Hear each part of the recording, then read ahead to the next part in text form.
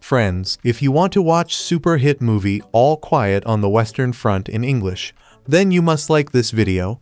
If you are visiting our channel for the first time, don't forget to subscribe to our channel.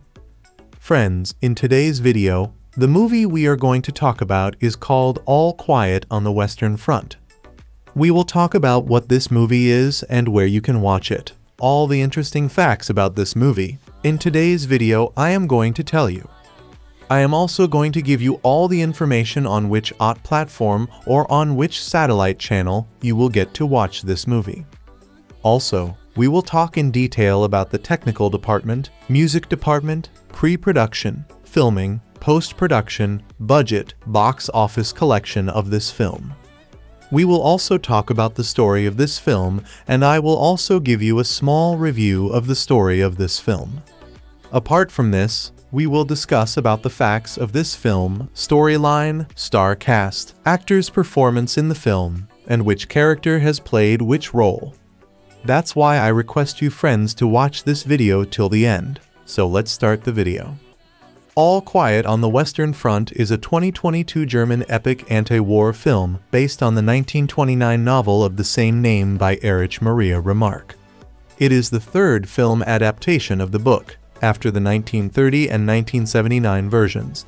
Co-written, directed and co-produced by Edward Berger, it stars Felix Kammerer, Albrecht Schuch, Daniel Brühl, Sebastian Hulk, Aaron Hilmer, Edin Hasanovic, and David Striesow. Set during World War I, it follows the life of an idealistic young German soldier named Paul Bäumer. After enlisting in the German army with his friends, Bäumer finds himself exposed to the realities of war shattering his early hopes of becoming a hero as he does his best to survive. The film adds a parallel storyline not found in the book, which follows the armistice negotiations to end the war.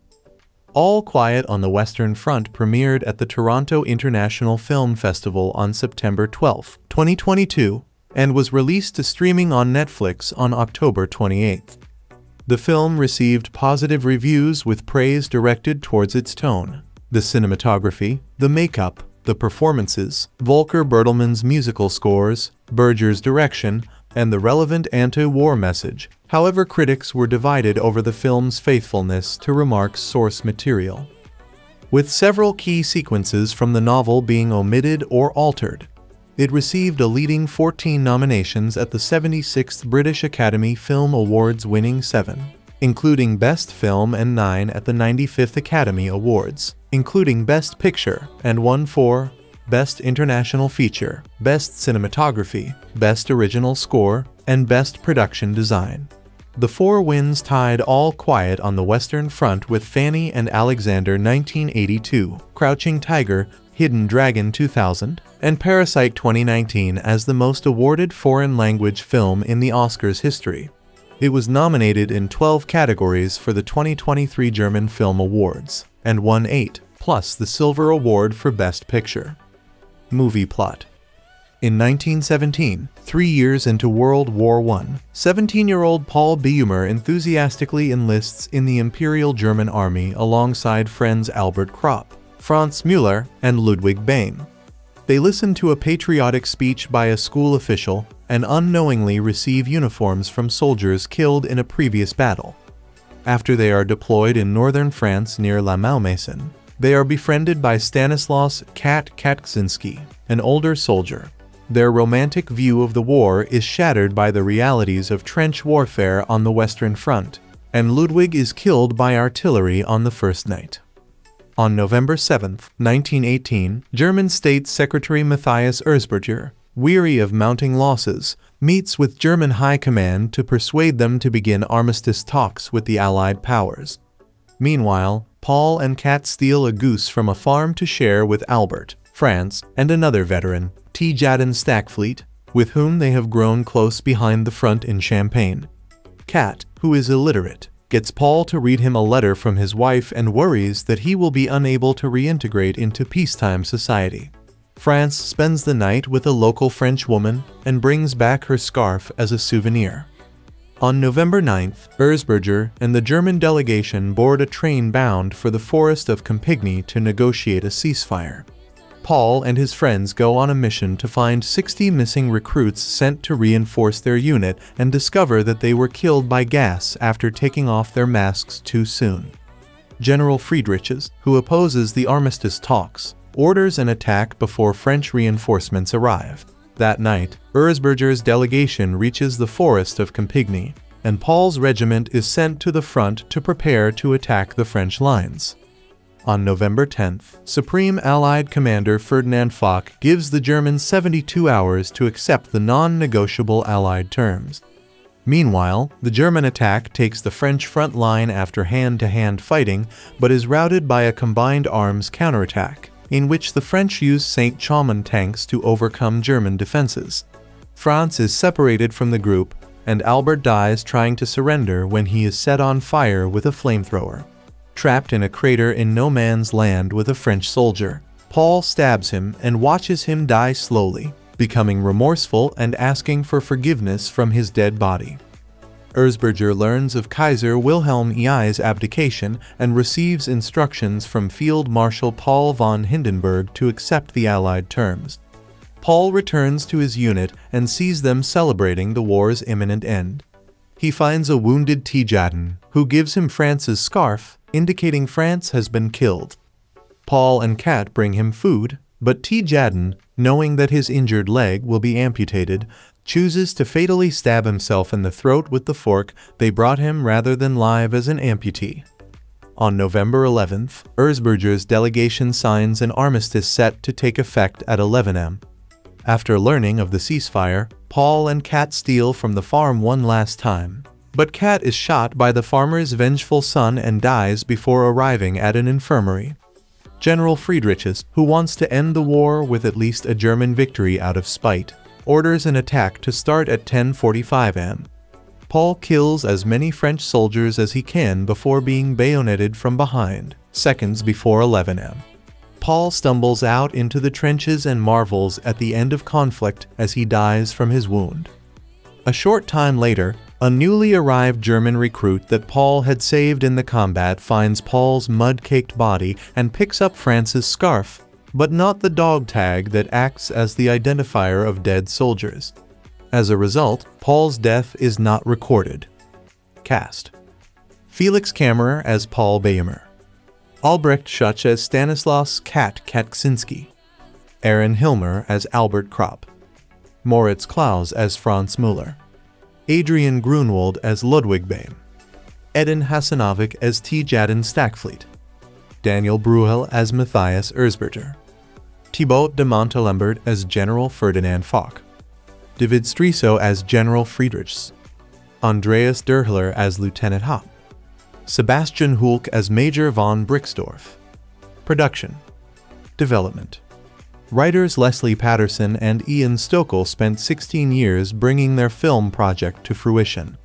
They initially obtained an option for the film rights to the book in 26, but faced challenges in securing funding for both the film's production and the annual option renewal, which cost between $10,000 and $15,000. In a resourceful attempt to raise funds, Paterson participated in Xterra triathlons starting in 2011 ultimately winning the top prize of $20,000. This allowed her to maintain the option by winning five Triathlon World Championships over the years. Paterson and Stokell estimated that they spent approximately $200,000 to preserve the option during the 16-year period. 10 The film was eventually announced in February 2020 with Edward Berger directing and Daniel Brühl as part of the ensemble cast. Filming Principal photography began on the 9th of March 2021 in Prague, Czech Republic, and lasted 55 days. The film cost $20 million. Cinematographer James Friend worked closely with another DP, wildlife cameraman Rob Hollingworth, in order to capture the fox sequence in the beginning of the film. We had to essentially put a pregnant fox in a purpose-built den that was designed for shooting with camera traps. The fox then gave birth to the cubs in this den, and that turned into what you saw on camera. The only way to get those shots is basically to raise the cubs in the environment in which you're filming them, so the mother and the cubs feel completely at home. Then, if a probe lens comes in to get a close-up of a cub or the mom, they're already used to it by that stage. Essentially, we wanted it to look like a David Attenborough piece and not like a movie. Release All Quiet on the Western Front premiered at the 47th Toronto International Film Festival on September 12, 2022. It played exclusively at the Paris Theatre in New York on October 7th before expanding to other theaters from October 14th. It launched on Netflix, which acquired distribution rights prior to production, worldwide on October 28th. From its release on Netflix to March 3, 2023, the film logged over 150 million hours viewed worldwide. Viewership tripled after the film's Oscar and BAFTA nominations, and was on the global top 10 non-English film list for 14 weeks and in the top 10 films in 91 countries. A making of documentary called Making All Quiet on the Western Front was released on Netflix globally on February 20, 2023. A collector's edition Blu-ray release is scheduled for March 28, 2023 in the United States and April 24, 2023 in the United Kingdom. Critical reception. On the review aggregator website Rotten Tomatoes, 90% of 165 critics' reviews are positive, with an average rating of 8, 1 tenth. The website's consensus reads, both timely and timeless, All Quiet on the Western Front retains the power of its classic source material by focusing on the futility of war.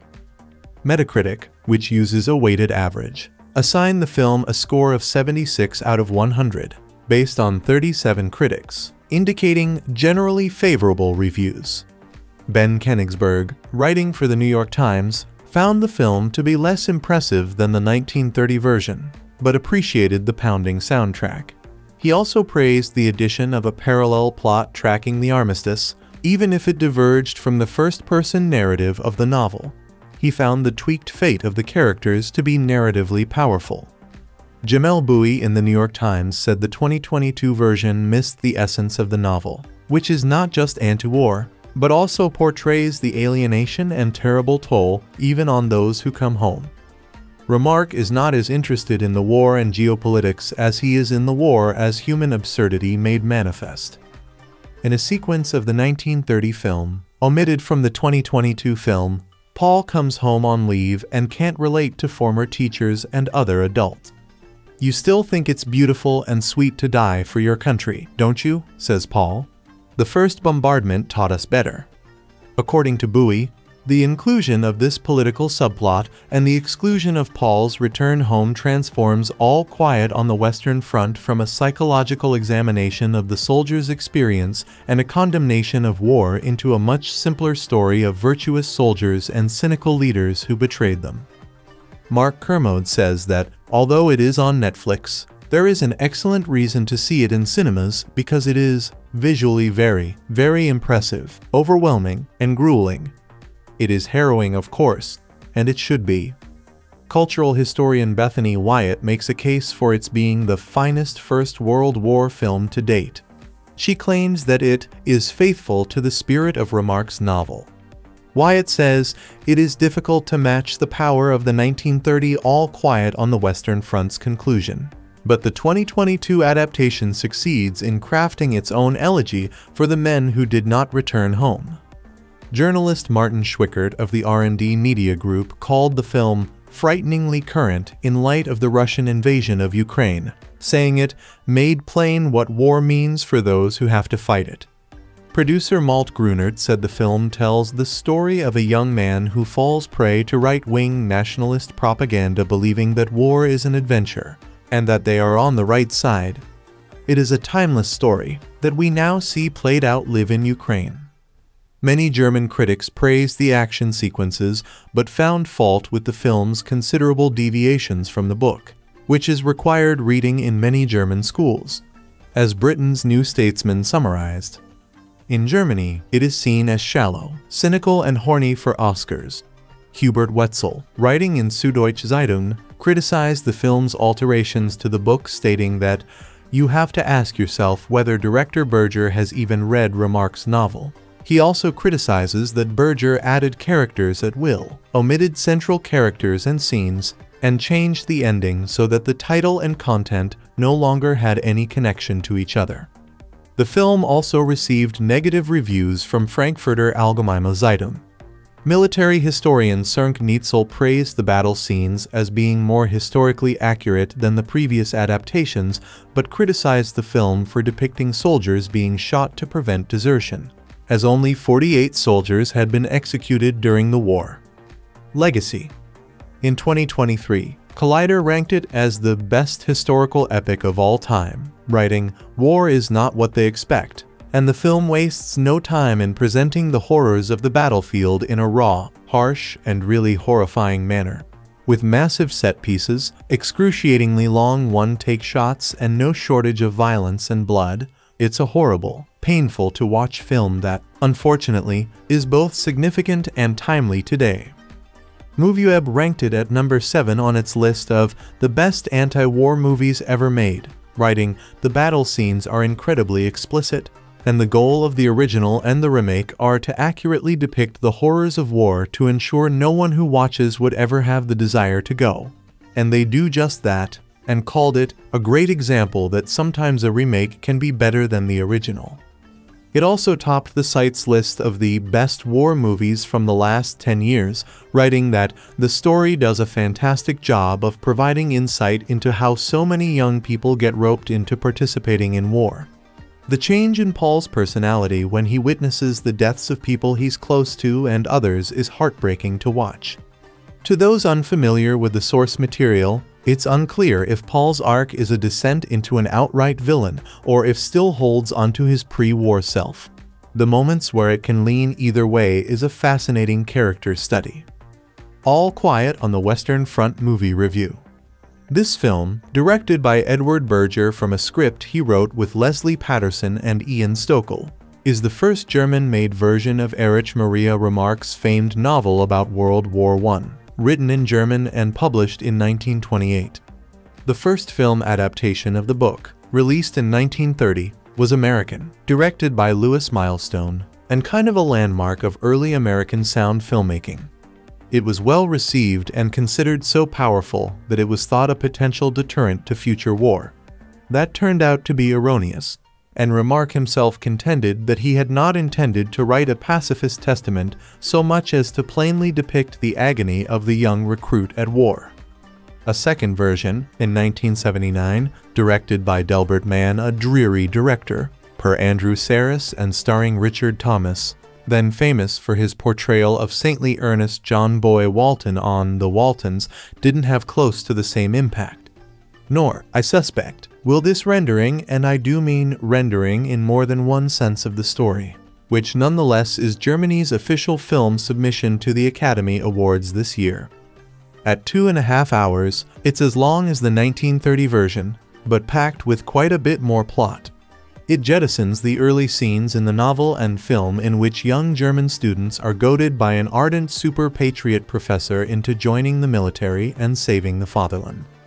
Instead, this film sets its sights on the head-spinning carnage of warfare by showing how young enlistee Paul Bäumer Felix Kammerer gets his wrong-sized uniform.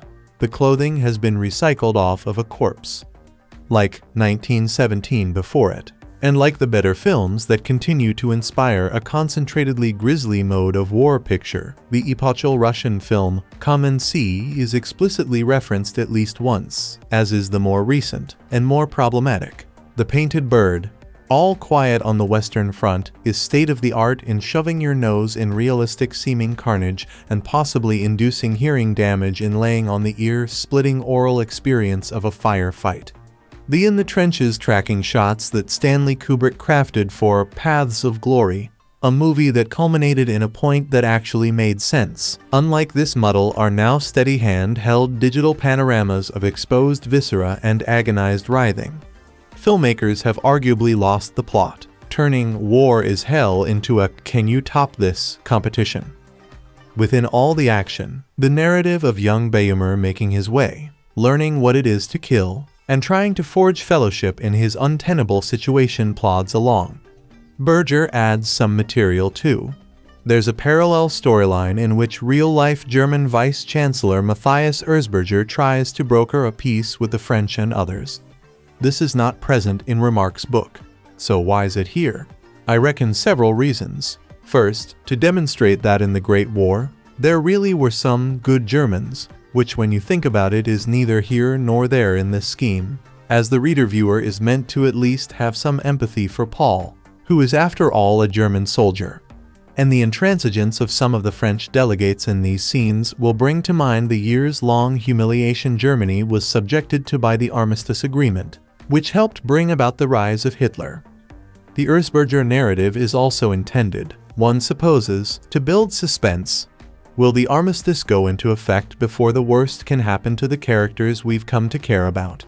Presuming one has indeed come to care about them, which was not my own experience here. But this is not the only special pleading the director puts forth. Late in the film, there's a sequence when Paul and his older army friend Katczinsky Albrecht Schuch go to steal a goose to eat, not to adopt as a pet or anything from a French farm and run afoul of a dead-eyed French boy. I won't spoil the sequence. But I will say that, apart from committing the cinematic sacrilege of using the same Bach choral prelude that Tarkovsky put in his Solaris, it is very invested in villainizing French farm boys. To which I can only ask, well, what were the Germans even doing in France at that time anyway? Ultimately, I found this kind of whataboutism more amusing than disquieting. Maybe I'm just whistling in the dark. The 2022 film All Quiet on the Western Front follows 17-year-old Paul Baumer as he, along with three of his friends, enlist in the Imperial German Army to fight in the First World War. The film begins in spring of 1917, three years into the war, and follows Baumer until Armistice Day, November 11, 1918. I discovered the film when I was in need of a piece of work to analyze for a college supplemental. I asked one of my Inkwell colleagues for a recommendation, and he provided. I was skeptical, as war movies don't tend to be my cup of tea, especially not ones that are Netflix originals. Despite this though, I pressed play. My skepticism began to dissolve as I watched the first three shots, the first of a stormy landscape at dawn, the second in the middle of a misty forest, and the third of a large fox and its three cubs sleeping in their den. A few more establishing shots are shown, and eventually the camera pans over a battlefield laden with injured soldiers and lightly dusted with snow, before sounds of gunfire are heard and trench warfare is shown. Spoilers below. Throughout the first long-lasting scene, we follow a soldier called Heinrich as he gets sent into battle, killed and buried in a mass grave. His uniform is taken from his body, cleaned in a blood-tainted bath, and repaired in a workshop. All of the shots mentioned are accompanied by a haunting melody and the uncomfortable diegetic noise of rattling sewing machines, sloshing of water, squelching, and more. Nine minutes into the film, we are introduced to our protagonist, Paul Baumer. As I mentioned previously, he and his friends are enlisting to aid in the war effort. Upon their enrollment, they are given uniforms and Baumer remarks to an officer that his uniform belongs to somebody else, as the tag has been embroidered with the name Heinrich. By misleading the audience to believe our main character is already a soldier within the first 10 minutes, only for him to be killed soon thereafter, it establishes its style. The rest of the film continues to be characterized by unpredictability and juxtaposition not just between beauty and pain, but between wealth and war. While the film spans roughly 18 months of war, its focus remains consistently narrow friendship and death. Baumer has a pre-existing bond with the friends he enlists with, and by the end of the first day, one of them dies. He bonds with Stanislaus Kat Katczinsky, an older soldier, by helping him steal a goose from a nearby farm. The pair grow closer upon Kat's divulgement of his illiteracy, after which Baumer becomes a dedicated letter reader. Aforementioned juxtaposition is performed via quick jumps between active warfare and peace negotiation by commanders over extravagant dinners in palaces. All of these scenes have an underlying tone of pain, though, and yet are shot beautifully. This is a war movie, though, and I did mention that friendship and death are essentially one and the same here. After Baumer and Kat learn of the ceasefire set to take place at 11 am on the morning of November 11th, they decide to steal from the farm one last time. In the process, Kat is shot and killed. Kat's general, in the hopes of a German declaration of victory, orders an attack at 10:45 am, which occurs in the same trenches from the beginning of the film. In said trenches, Baumer is stabbed from behind by a bayonet through the heart, just seconds before the official ceasefire takes place. In the final scene, a young soldier takes his scarf, which was originally his friend's, and dog tag from his body. Throughout, we are led to believe that Baumer will emerge from the Great War in a triumphant display of resilience as the only surviving member of the original enlisting group. But in the end, we are struck with the reality of war that he was doomed to repeat the fate of the soldier who had first worn his uniform. Other information about this film. It's a reality of modern war films, or, at least, the good ones that they tend to be horrifying and exciting at the same time. You could say that's a contradiction that grows out of the kinetic, larger-than-life nature of the movie medium. Or you could say it's a truth that expresses something fundamental about war, that the very reason war persists, for all its terror and destruction and death, is that there's something in human nature that is drawn to war. The movies, in their way, act this out for us. Once again, though, I'm speaking of the good ones, there is no more powerful an example than Saving Private Ryan. I have never seen a war film more thrilling, and I have never seen a war film that made me confront, more memorably, the unspeakable blood spurting fear and devastation of war. By contrast, the new German version of All Quiet on the Western Front feels like an experience that's been stripped to the bone morally, spiritually, and dramatically. Based on the 1928 novel by Erich Maria Remarque, it's not a movie that tries to turn the infamous meat grinder horror of the trench warfare of World War I into some sort of spectacle, the way that Sam Mendes' video game Apocalypse 1917 did. The film's hero, Paul Baumer Felix Kammerer, is a student who, three years into the war, enlists in the Imperial German Army to fight for the fatherland. He is soon sent to the Western Front, a place where millions of soldiers have already gone to their deaths in what is essentially a homicidal turf war where no turf exchanges hands. Over the course of the war, the land capture on the Western Front was meager, the location of the front line never moved by more than half a mile. So why did all those soldiers die? For no reason. Because of a tragic one could say obscene historical accident. That in WWI, the means of fighting was caught between an older, classical mode of stationary combat and the new reality of long-distance slaughter made possible by technology. By the end of the war, 17 million men had fallen between those cracks. The 1930 Hollywood version of All Quiet on the Western Front, directed by Louis Milestone, is widely regarded as an anti-war landmark. But, of course, if you watch it now, the war scenes won't make an audience shudder the way they did a century ago. The bar for terror and carnage on screen has been raised far beyond that. Edward Berger, the director of the new All Quiet, stages his war scenes in what's become the standard existential bombs bursting in Earth, debris flying everywhere. War is hell because its violence is so random mode of pitiless annihilation. He does it competently, but not better than that. He doesn't begin to touch the level of imagination that has gripped us in the war cinema of Spielberg, Kubrick, Coppola, Stone, Klimov.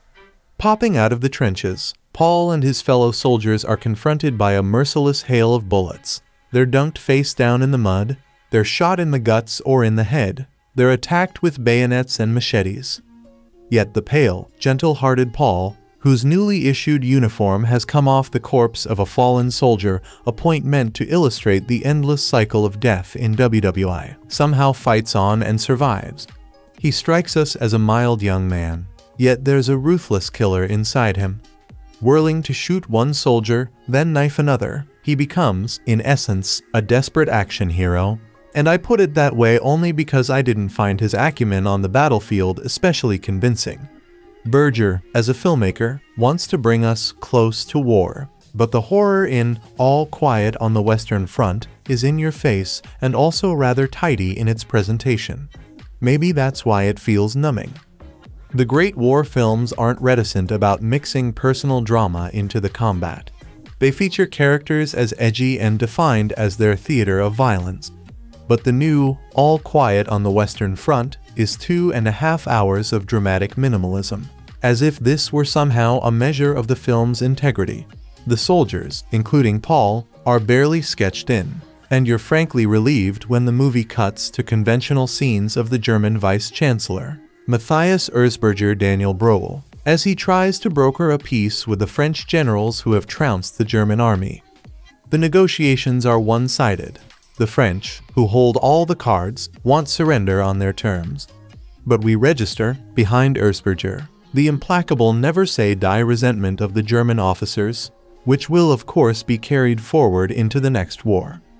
Stanley Kubrick, with Paths of Glory, made what is still the greatest movie about trench warfare, and he wasn't shy about involving us in actual drama.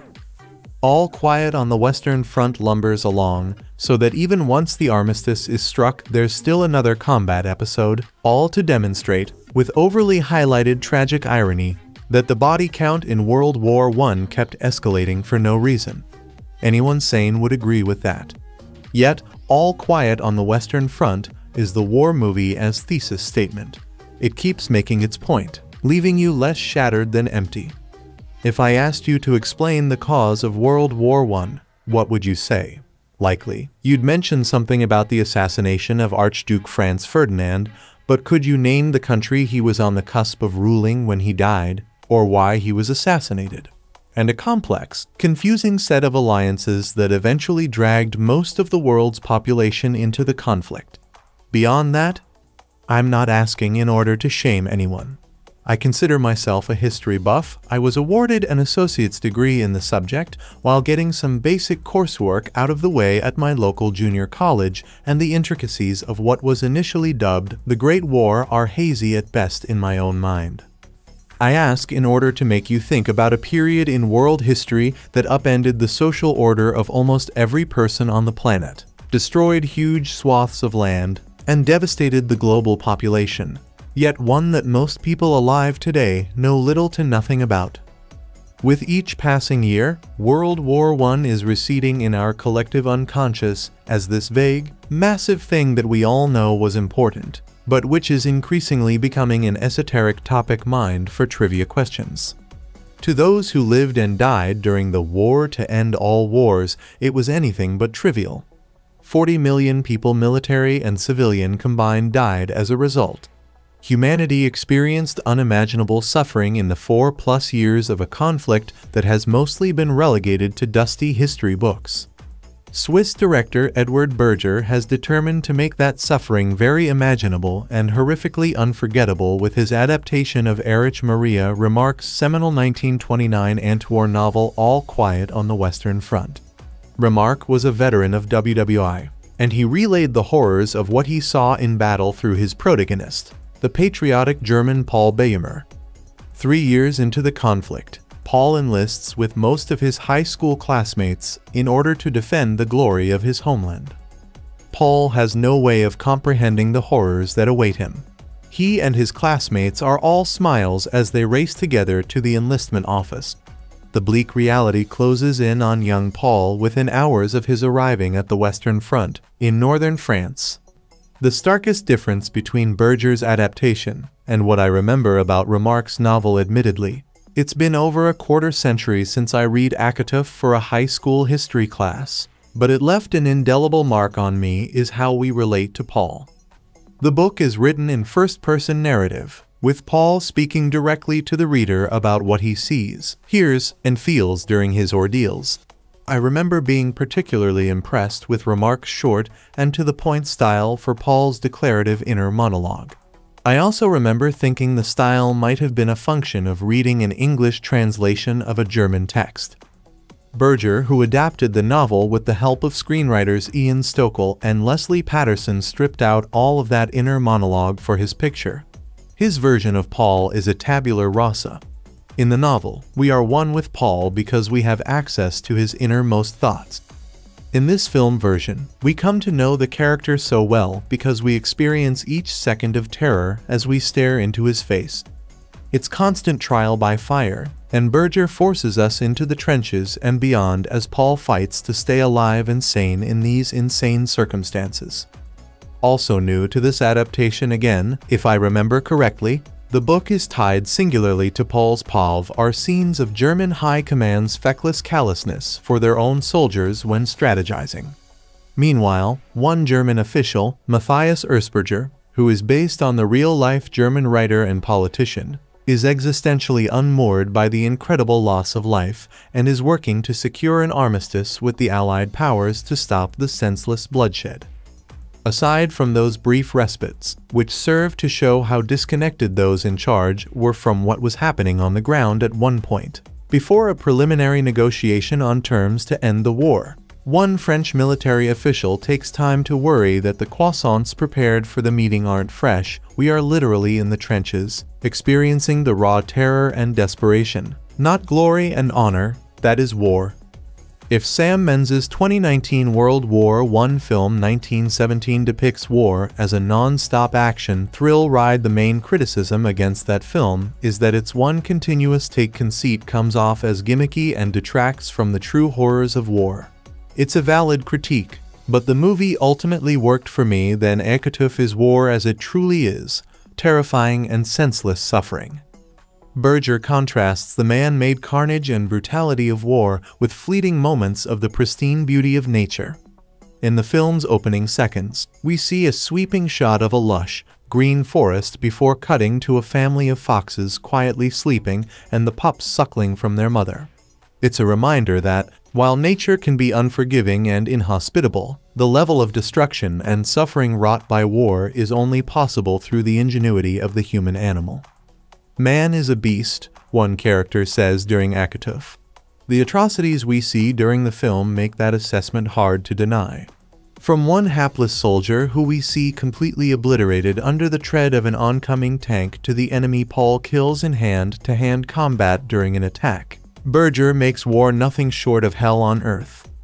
The visceral hand-to-hand -hand combat sequence, one of the most vivid passages of the novel, is pulverizing in this film version. Paul stabs his adversary repeatedly in the chest, but the man does not die. Instead, Paul spends hours in the artillery-blasted crater where they fought, listening to the man's pain gurgles through the blood clogging his esophagus. In his initial panic, Paul attempts to silence the man by shoving handfuls of mud into the soldier's mouth. To no avail, I openly wept as this nameless man spent the remaining minutes of his life in excruciating agony. I was simply overcome by the cruelty we are capable of inflicting on one another. Volker Bertelmann's jarring score incorporates idiosyncratic percussion to keep us off balance.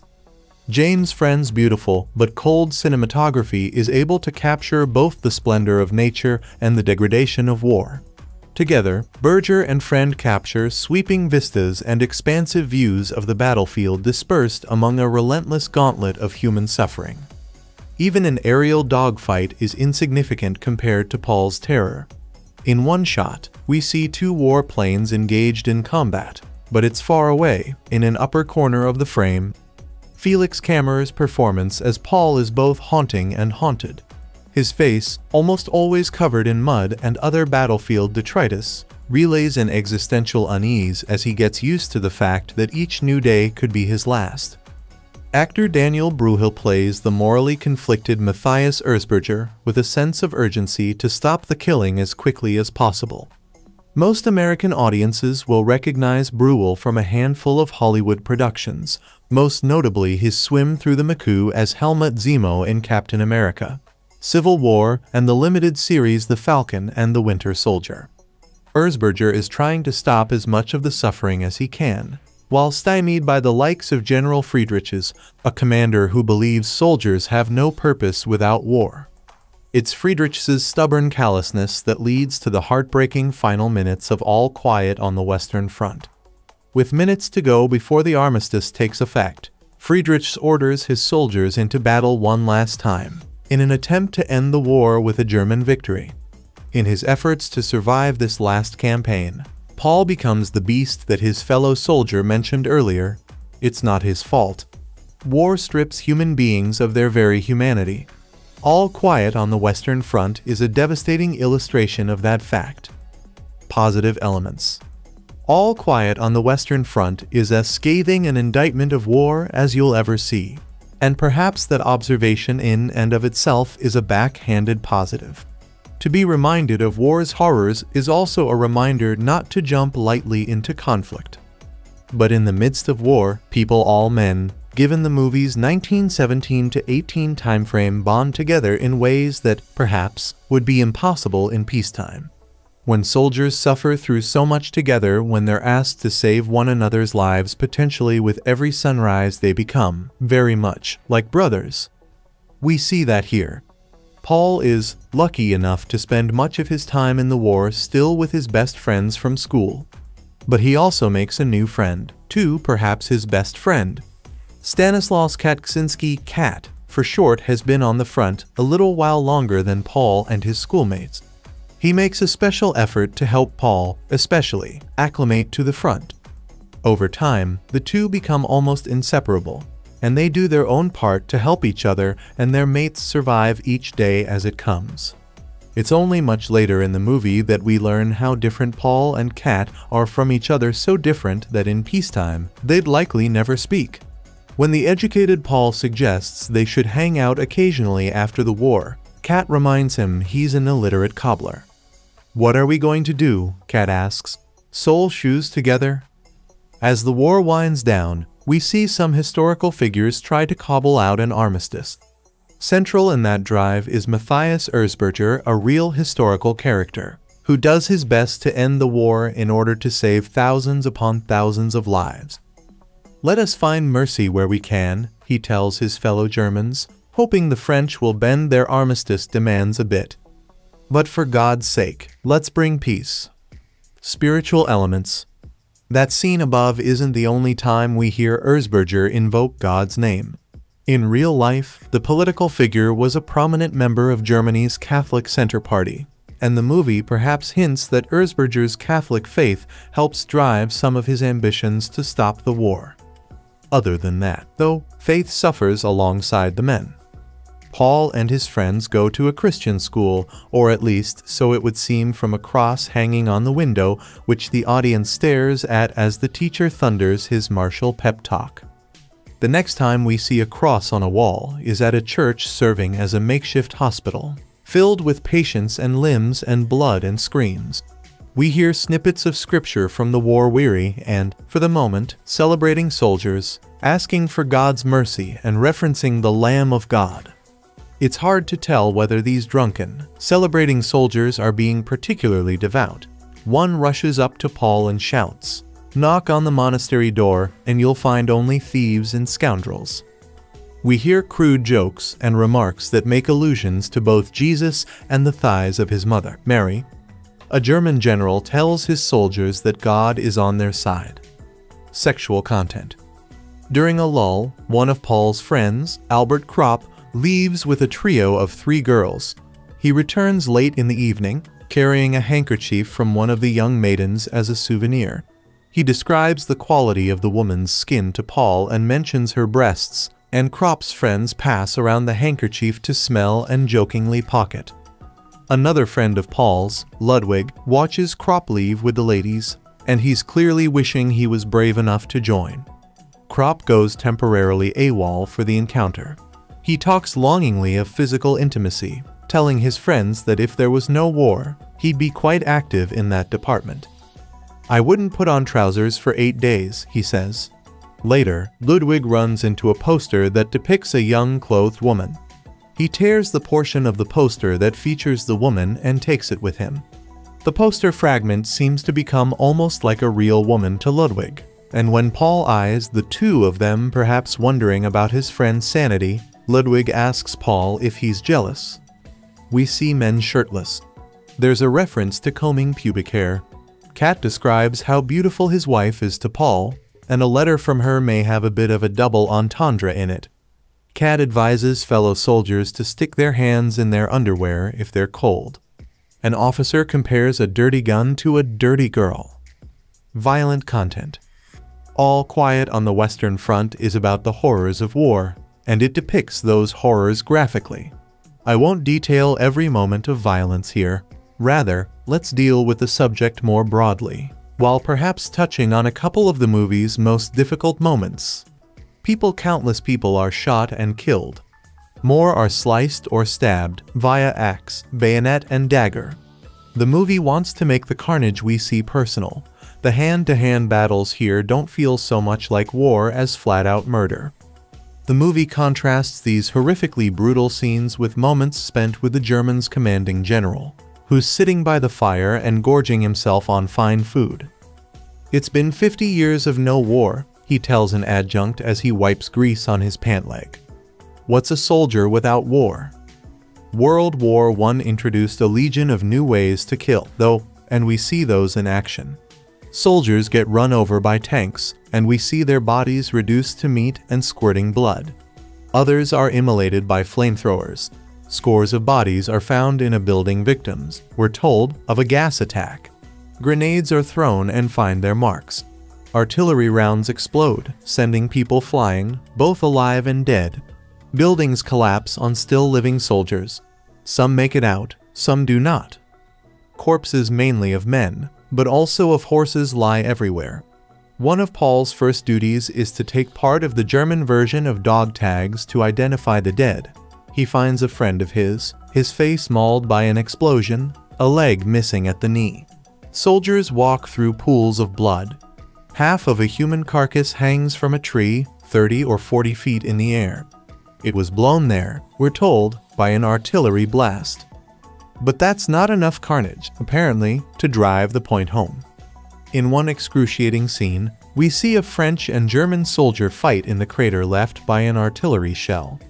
The German finally stabs the Frenchman several times, but the man won't die. Instead, he chokes and gurgles on his blood until the German stuffs dirt into the man's mouth. It's still not enough, for minutes, perhaps hours, this small struggle for life goes on, the German holding his ears as the Frenchman gurgles, until the German decides to save the man instead. He looks at the bloody wounds, wipes the dirt from his face and around his mouth. Only then does the Frenchman breathe his last. The German finds his wallet and a picture of the man's wife and daughter. In another scene, a wounded man who bears some terrible injuries to his leg receives food and a fork.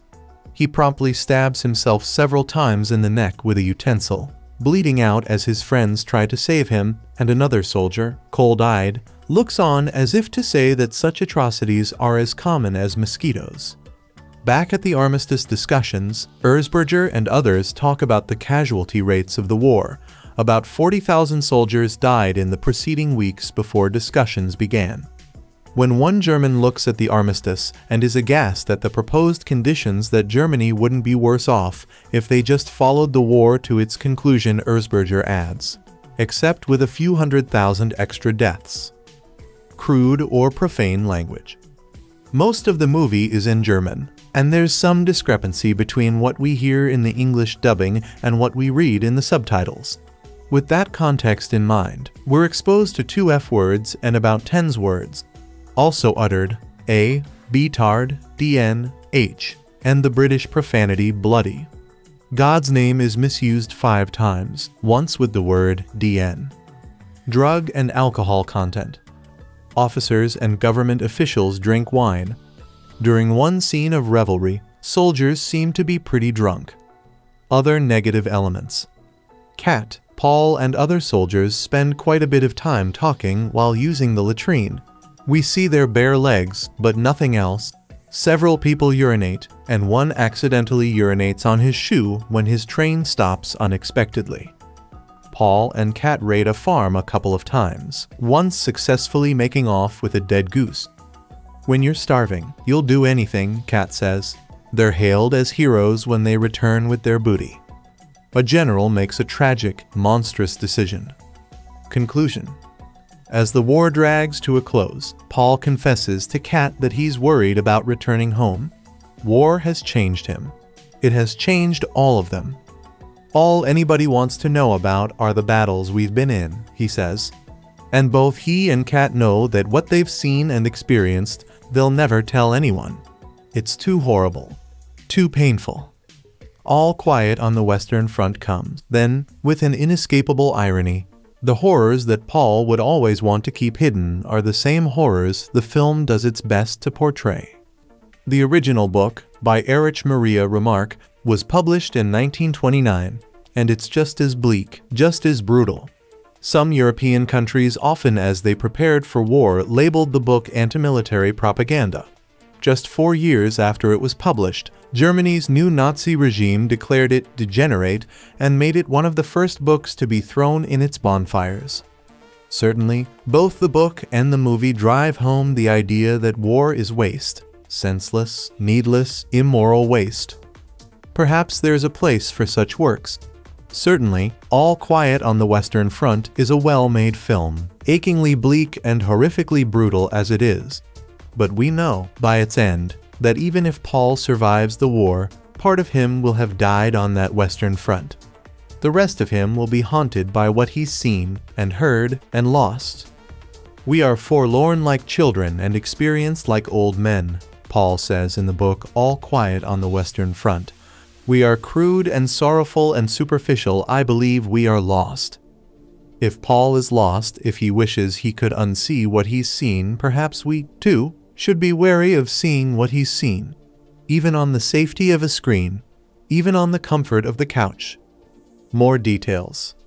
Erich Maria Remarque's undying 1928 anti-war novel All Quiet on the Western Front has the uncommon fortune for a major literary classic to have been adapted into a major cinematic classic. And this happened almost immediately. The US, produced adaptation that would go on to win the Academy Award for Outstanding Production, that is, Best Picture at the 1929-30 ceremony premiered less than 16 months after the serialization of the book began in Germany. That 1930 film is, in my eyes, one of the utmost masterpieces of early sound cinema. It's also, more directly to the point one of the very best films adapted from a prose source ever made. So ordinarily, the idea of a new All Quiet would instill in me an instinctive and peremptory, well, that's a fucking stupid thing to do. And if we're talking about the 1979 made-for-TV adaptation, I'd be 100% right. This comes up because we now do in fact have a new movie version of All Quiet on the Western Front that has come fully inoculated against my snobbish dismissal for the undeniable reason that it is the first time a cinematic treatment of the story has been produced in Germany, and in the same German language that Remarque wrote the book in which includes restoring its original title, Im Westen nichts Neues, in the West, nothing new even if there was never any chance that I'd like the 2022 All Quiet as much as the 1930 All Quiet, and there was, to be clear, never any such chance one can hardly say in such circumstances that the 2022 film serves no purpose. Restoring the original language to a story that, for all its intentional and intense universality, is still very much about the specific German experience of the First World War is a purpose in and of itself. Also, the 2022 film knocks the pants of the 1979 telefilm, so that helps things as well. This incarnation of the story, directed by Edward Berger and adapted from the novel by himself and Lesley Paterson and Ian Stokell, starts with the same fundamentals. Paul Bäumer Felix Kammerer, a teenager in 1917, signs up with great patriotic fervor and youthful fearlessness to fight on behalf of the Kaiser against the nation's many enemies. By the time the war has ended in November 1918, Paul has watched nearly all of his equally fervid friends die horrifically in the muddy, diseased trenches of perhaps the most brutally gruesome battlefield in the annals of modern warfare reduced to ash and bone and rotting flesh in service to redistributing the balance of power over a few hundred yards of crater-marked wasteland. And thus do we learn that war is, as it turns out, hell. Credit to this new all quiet on the Western Front where it's due. It sure does seem hellish at that. There's nothing quiet as staggering as the way that the 1930 film used the new technology of synchronized sound to create a nihilistic hurricane of violent sounds vomiting unprecedented violence into the melodrama of a 1930 prestige picture. But this is, at least, quite a miserably unpleasant trudge of a film. That is, to be clear, a compliment.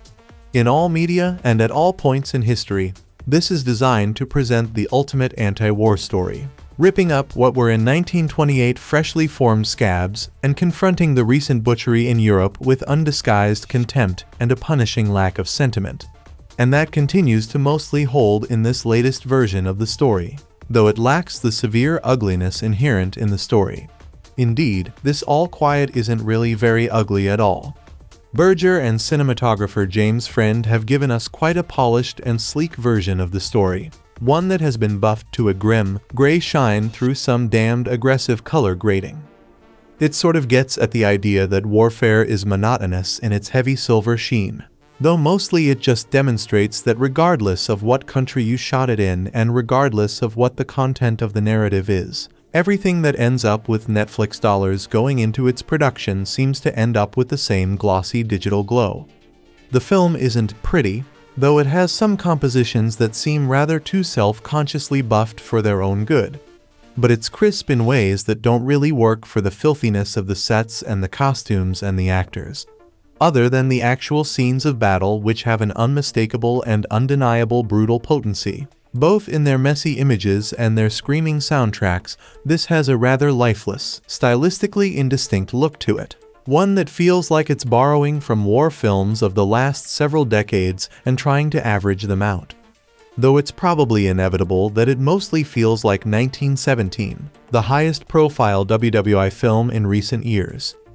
The monotony of the style is, I think, meant to be part of an overall strategy, or perhaps it is mere chance, since it's not really a strategy that I think works out. Basically, this movie is one thing, from start to finish, pounding away relentlessly. By shuffling the story around and placing all of the material with Paul's pre-war innocence in flashbacks, it's able to get us directly to the trenches in the immediate first moments of the movie. And that sets off 148 minutes of more or less uninterrupted heavy, gray bleakness on all fronts. The sharp, metallic images keep looking like one thing. The harsh anachronistic notes of Volker Bertelmann's score keep sounding like one thing. Quite literally. In fact, the score consists of multiple cues, but the one that keeps returning over and over again is a variation on the Hans Zimmer B-Walm note, only instead of just one note. It is the same three notes in quick succession. It's a violent dose of 2022 into the violence of 1917 and 1918. And other than some vague, war is a timeless evil gesture. I really don't know what the purpose of it is, but damned if it's not memorable. Perhaps most dubiously, the monotony seems to have landed at the character writing and acting as well. No version of All Quiet on the Western Front has been populated by dynamic psychological figures, but no version has ever been as indifferent to the interiority of its young soldiers as this. Paul and his friends are, in this telling, entirely people who are acted upon, with very little given to differentiate them, which is, in truth, why I haven't gone to the trouble of naming anybody else. The rejiggered arc means that we don't even see innocent jingoism collapse into shell-shocked misery. The collapse has already happened when we meet the characters, and when we flash back to watch it as it occurs, it seems that quite literally one day on the front is all it took to leave the characters robbed of their soulfulness and hope. Which probably isn't an inaccurate way to characterize the viciousness of trench warfare, but it makes for somewhat tediously bleak drama. And this is especially true given that this script elects to add substantial material of the generals and other politicians attempting to bring the war to a close and they do seem like distinct personalities pretty close to 100% the opposite of the story. An adaptation of All Quiet on the Western Front should be attempting to tell. Given the story's inherent mistrust of the higher-ups sending young men to the charnel house. The narrative is strong enough that it would take a weaker treatment than this to ruin it, and the heavy one-note bleakness is a reasonable attitude to adopt given the material. But I struggle to see what about this is special given its stylistic debts to so many other war movies. And certainly, if you want a terrific film version of this same basic story, really, 1930 wasn't that long ago. Tim Brayton is the editor-in-chief and primary critic at Alternate Ending. He has been known to show up on Letterboxd, writing about even more movies than he does here. All Quiet on the Western Front is a 2022 German epic anti-war film based on the 1929 novel of the same name by Erich Maria Remarque. It is the third film adaptation of the book, after the 1930 and 1979 versions. Co-written, directed and co-produced by Edward Berger, it stars Felix Kammerer, Albrecht Schuch, Daniel Brühl, Sebastian Hülk, Aaron Hilmer, Edin Hasanovic, and David Striesow. Set during World War I, it follows the life of an idealistic young German soldier named Paul Bäumer. After enlisting in the German army with his friends, Bäumer finds himself exposed to the realities of war, shattering his early hopes of becoming a hero as he does his best to survive.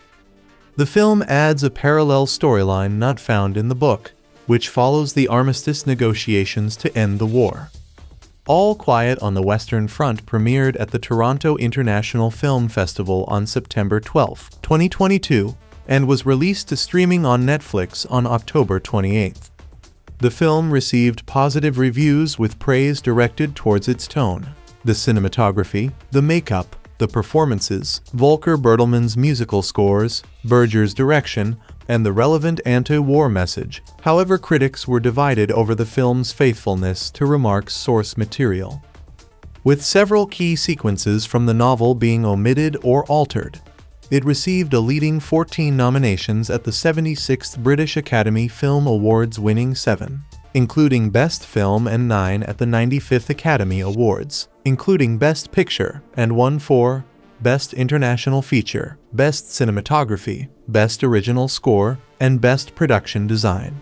The four wins tied All Quiet on the Western Front with Fanny and Alexander 1982, Crouching Tiger, Hidden Dragon 2000, and Parasite 2019 as the most awarded foreign language film in the Oscars history.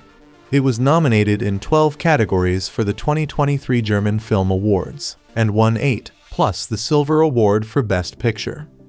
Movie plot In 1917, three years into World War I, 17-year-old Paul Bäumer enthusiastically enlists in the Imperial German Army alongside friends Albert Kropp, Franz Müller, and Ludwig Behm. They listen to a patriotic speech by a school official and unknowingly receive uniforms from soldiers killed in a previous battle. After they are deployed in northern France near La Malmaison, they are befriended by Stanislaus Kat Katczinsky, an older soldier.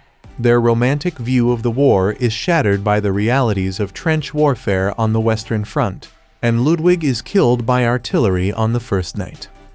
On November 7, 1918, German State Secretary Matthias Erzberger, weary of mounting losses, meets with German High Command to persuade them to begin armistice talks with the Allied powers. Meanwhile, Paul and Kat steal a goose from a farm to share with Albert, Franz, and another veteran, Tjaden Stackfleet, with whom they have grown close behind the front in Champagne.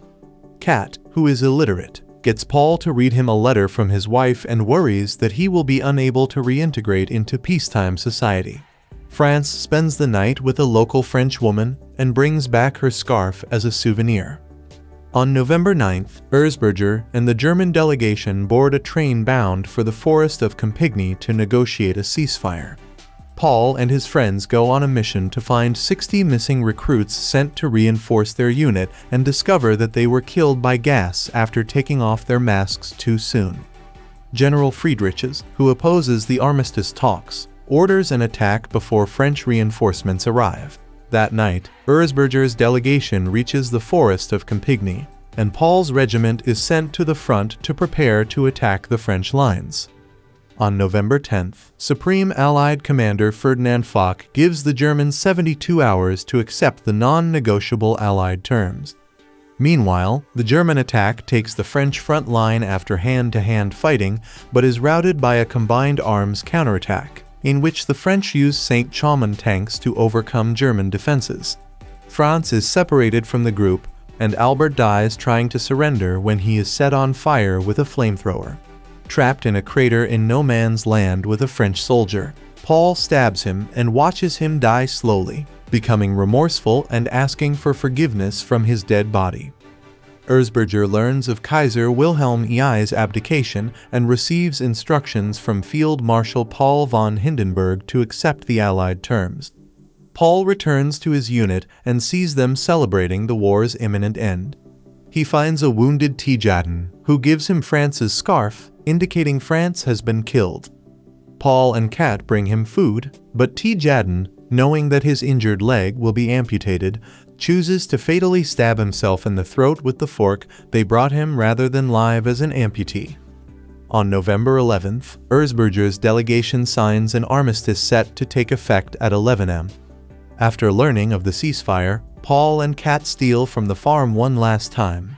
But Kat is shot by the farmer's vengeful son and dies before arriving at an infirmary. General Friedrichs, who wants to end the war with at least a German victory out of spite, orders an attack to start at 10.45 am. Paul kills as many French soldiers as he can before being bayoneted from behind, seconds before 11 am. Paul stumbles out into the trenches and marvels at the end of conflict as he dies from his wound.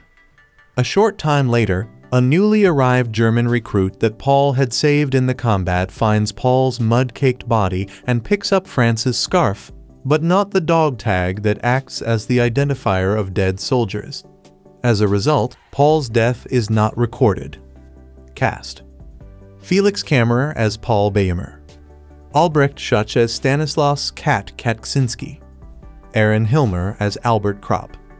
Moritz Klaus as Franz Müller. Adrian Grünewald as Ludwig Behm, Edin Hasanovic as Tjaden Stackfleet, Daniel Brühl as Matthias Erzberger, Thibaut de Montalembert as General Ferdinand Foch, David Striesow as General Friedrichs, Andreas Döhler as Lieutenant Hopp, Sebastian Hülk as Major von Brixdorf. Production Development Writers Lesley Paterson and Ian Stokell spent 16 years bringing their film project to fruition. They initially obtained an option for the film rights to the book in 26, but faced challenges in securing funding for both the film's production and the annual option renewal, which cost between $10,000 and $15,000. In a resourceful attempt to raise funds, Paterson participated in Xterra triathlons starting in 2011 ultimately winning the top prize of $20,000. This allowed her to maintain the option by winning five Triathlon World Championships over the years. Paterson and Stokell estimated that they spent approximately $200,000 to preserve the option during the 16-year period. 10 The film was eventually announced in February 2020 with Edward Berger directing and Daniel Brühl as part of the ensemble cast. Filming Principal photography began on the 9th of March 2021 in Prague, Czech Republic, and lasted 55 days. The film cost $20 million. Cinematographer James Friend worked closely with another DP, wildlife cameraman Rob Hollingworth, in order to capture the fox sequence in the beginning of the film. We had to essentially put a pregnant fox in a purpose-built den that was designed for shooting with camera traps. The fox then gave birth to the cubs in this den, and that turned into what you saw on camera. The only way to get those shots is basically to raise the cubs in the environment in which you're filming them, so the mother and the cubs feel completely at home. Then, if a probe lens comes in to get a close-up of a cub or the mom, they're already used to it by that stage. Essentially, we wanted it to look like a David Attenborough piece and not like a movie. Release all Quiet on the Western Front premiered at the 47th Toronto International Film Festival on September 12, 2022. It played exclusively at the Paris Theatre in New York on October 7th before expanding to other theaters from October 14th. It launched on Netflix, which acquired distribution rights prior to production, worldwide on October 28th. From its release on Netflix to March 3, 2023, the film logged over 150 million hours viewed worldwide. Viewership tripled after the film's Oscar and BAFTA nominations, and was on the global top 10 non-English film list for 14 weeks and in the top 10 films in 91 countries. A making of documentary called Making All Quiet on the Western Front was released on Netflix globally on February 20, 2023. A collector's edition Blu-ray release is scheduled for March 28, 2023 in the United States and April 24, 2023 in the United Kingdom. Critical reception. On the review aggregator website Rotten Tomatoes, 90% of 165 critics' reviews are positive, with an average rating of 8, 1 tenth. The website's consensus reads, both timely and timeless, All Quiet on the Western Front retains the power of its classic source material by focusing on the futility of war. Metacritic, which uses a weighted average, assigned the film a score of 76 out of 100, based on 37 critics, indicating generally favorable reviews. Ben Kenigsberg, writing for the New York Times, found the film to be less impressive than the 1930 version, but appreciated the pounding soundtrack. He also praised the addition of a parallel plot tracking the armistice, even if it diverged from the first-person narrative of the novel. He found the tweaked fate of the characters to be narratively powerful. Jamelle Bouie in the New York Times said the 2022 version missed the essence of the novel, which is not just anti-war, but also portrays the alienation and terrible toll even on those who come home. Remarque is not as interested in the war and geopolitics as he is in the war as human absurdity made manifest. In a sequence of the 1930 film, omitted from the 2022 film, Paul comes home on leave and can't relate to former teachers and other adults. You still think it's beautiful and sweet to die for your country, don't you? says Paul. The first bombardment taught us better. According to Bouie, the inclusion of this political subplot and the exclusion of Paul's return home transforms All Quiet on the Western Front from a psychological examination of the soldier's experience and a condemnation of war into a much simpler story of virtuous soldiers and cynical leaders who betrayed them. Mark Kermode says that, although it is on Netflix, there is an excellent reason to see it in cinemas because it is visually very, very impressive, overwhelming, and grueling, it is harrowing, of course, and it should be. Cultural historian Bethany Wyatt makes a case for its being the finest First World War film to date. She claims that it is faithful to the spirit of Remarque's novel. Wyatt says it is difficult to match the power of the 1930 All Quiet on the Western Front's conclusion. But the 2022 adaptation succeeds in crafting its own elegy for the men who did not return home. Journalist Martin Schwickert of the R&D Media Group called the film frighteningly current in light of the Russian invasion of Ukraine, saying it made plain what war means for those who have to fight it. Producer Malte Grunert said the film tells the story of a young man who falls prey to right-wing nationalist propaganda believing that war is an adventure, and that they are on the right side. It is a timeless story that we now see played out live in Ukraine. Many German critics praised the action sequences but found fault with the film's considerable deviations from the book, which is required reading in many German schools. As Britain's New Statesman summarized, in Germany, it is seen as shallow, cynical, and horny for Oscars. Hubert Wetzel, writing in Süddeutsche Zeitung, criticized the film's alterations to the book stating that you have to ask yourself whether director Berger has even read Remarque's novel. He also criticizes that Berger added characters at will, omitted central characters and scenes, and changed the ending so that the title and content no longer had any connection to each other. The film also received negative reviews from Frankfurter Allgemeine Zeitung. Military historian Sönke Neitzel praised the battle scenes as being more historically accurate than the previous adaptations, but criticized the film for depicting soldiers being shot to prevent desertion as only 48 soldiers had been executed during the war. Legacy In 2023, Collider ranked it as the best historical epic of all time, writing, War is not what they expect, and the film wastes no time in presenting the horrors of the battlefield in a raw, harsh, and really horrifying manner. With massive set pieces, excruciatingly long one-take shots, and no shortage of violence and blood, it's a horrible, painful to watch film that, unfortunately, is both significant and timely today. MovieWeb ranked it at number 7 on its list of the best anti-war movies ever made, writing, the battle scenes are incredibly explicit, and the goal of the original and the remake are to accurately depict the horrors of war to ensure no one who watches would ever have the desire to go. And they do just that, and called it a great example that sometimes a remake can be better than the original. It also topped the site's list of the best war movies from the last 10 years, writing that the story does a fantastic job of providing insight into how so many young people get roped into participating in war.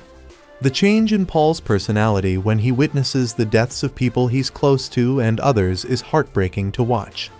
To those unfamiliar with the source material, it's unclear if Paul's arc is a descent into an outright villain or if still holds onto his pre-war self. The moments where it can lean either way is a fascinating character study.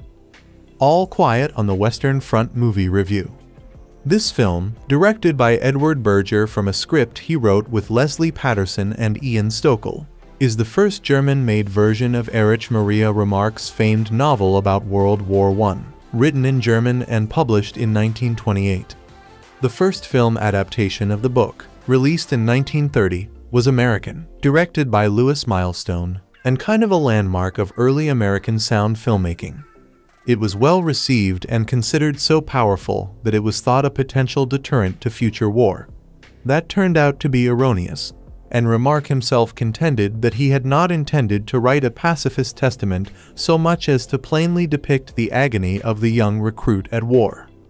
A second version, in 1979, directed by Delbert Mann, a dreary director, per Andrew Sarris and starring Richard Thomas, then famous for his portrayal of saintly earnest John Boy Walton on The Waltons, didn't have close to the same impact. Nor, I suspect, will this rendering, and I do mean rendering in more than one sense of the story, which nonetheless is Germany's official film submission to the Academy Awards this year. At two and a half hours, it's as long as the 1930 version, but packed with quite a bit more plot. It jettisons the early scenes in the novel and film in which young German students are goaded by an ardent super patriot professor into joining the military and saving the fatherland. Instead, this film sets its sights on the head-spinning carnage of warfare by showing how young and listy Paul Bäumer Felix Kammerer gets his wrong-sized uniform. The clothing has been recycled off of a corpse. Like 1917 before it, and like the better films that continue to inspire a concentratedly grisly mode of war picture, the epochal Russian film Come and See is explicitly referenced at least once, as is the more recent and more problematic the Painted Bird, all quiet on the Western Front, is state-of-the-art in shoving your nose in realistic-seeming carnage and possibly inducing hearing damage in laying on the ear-splitting aural experience of a firefight. The in-the-trenches tracking shots that Stanley Kubrick crafted for Paths of Glory, a movie that culminated in a point that actually made sense. Unlike this muddle are now steady-hand held digital panoramas of exposed viscera and agonized writhing filmmakers have arguably lost the plot, turning War is Hell into a can you top this competition. Within all the action, the narrative of young Bäumer making his way, learning what it is to kill, and trying to forge fellowship in his untenable situation plods along. Berger adds some material too. There's a parallel storyline in which real-life German Vice-Chancellor Matthias Erzberger tries to broker a peace with the French and others.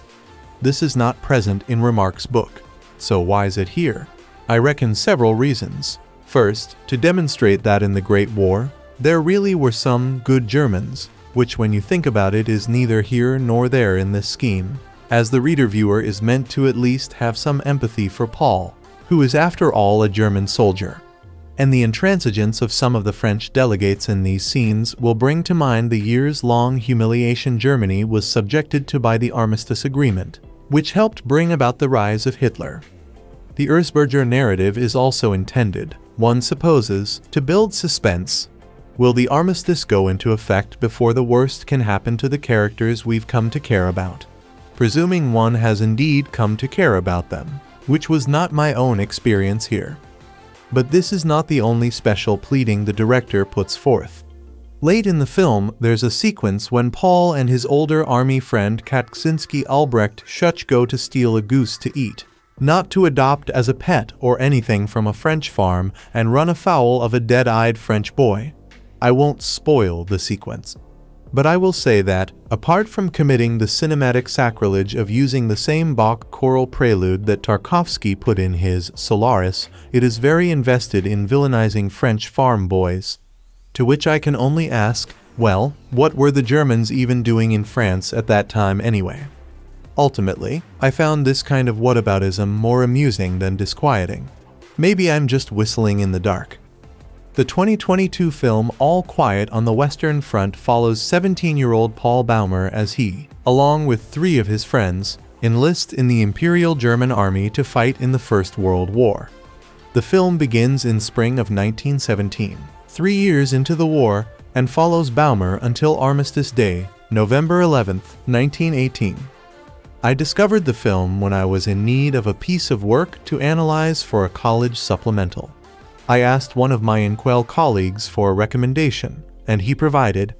I was skeptical, as war movies don't tend to be my cup of tea, especially not ones that are Netflix originals. Despite this though, I pressed play. My skepticism began to dissolve as I watched the first three shots, the first of a stormy landscape at dawn, the second in the middle of a misty forest, and the third of a large fox and its three cubs sleeping in their den. A few more establishing shots are shown, and eventually the camera pans over a battlefield laden with injured soldier sand lightly dusted with snow, before sounds of gunfire are heard and trench warfare is shown. Spoilers below. Throughout the first long-lasting scene, we follow a soldier called Heinrich as he gets sent into battle, killed and buried in a mass grave. His uniform is taken from his body, cleaned in a blood-tainted bath, and repaired in a workshop. All of the shots mentioned are accompanied by a haunting melody and the uncomfortable diegetic noise of rattling sewing machines, sloshing of water, squelching, and more. Nine minutes into the film, we are introduced to our protagonist, Paul Baumer. As I mentioned previously, he and his friends are enlisting to aid in the war effort.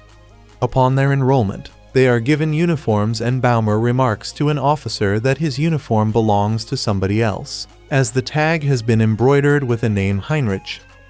By misleading the audience to believe our main character is already a soldier within the first 10 minutes, only for him to be killed soon thereafter, it establishes its style. The rest of the film continues to be characterized by unpredictability and juxtaposition, not just between beauty and pain, but between wealth and war. While the film spans roughly 18 months of war, its focus remains consistently narrow friendship and death. Baumer has a pre-existing bond with the friends he enlists with, and by the end of the first day, one of them dies. He bonds with Stanislaus Kat Katczinsky, an older soldier, by helping him steal a goose from a nearby farm. The pair grow closer upon Kat's divulgement of his illiteracy, after which Baumer becomes a dedicated letter reader. Aforementioned juxtaposition is performed via quick jumps between active warfare and peace negotiation by commanders over extravagant dinners in palaces. All of these scenes have an underlying tone of pain, though, and yet are shot beautifully.